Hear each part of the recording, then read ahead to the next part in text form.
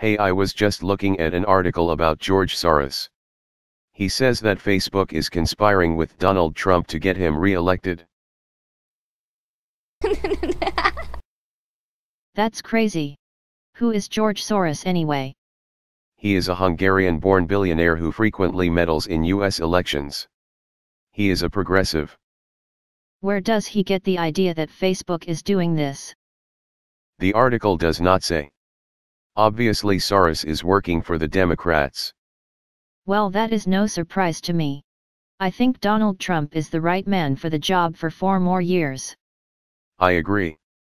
Let's vote for Donald Trump in 2020.